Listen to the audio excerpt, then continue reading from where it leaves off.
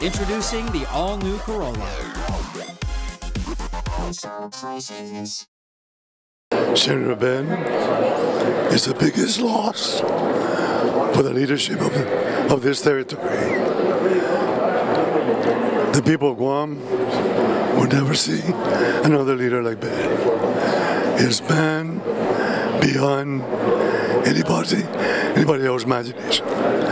The manifestation of the way the people responded for ever since he passed away is an indication that Ben has touched thousands and thousands of Chamorros and he's really honored. And we will never forget him I too love this man. Miss Nelson also love this man. And we will honor him all the way.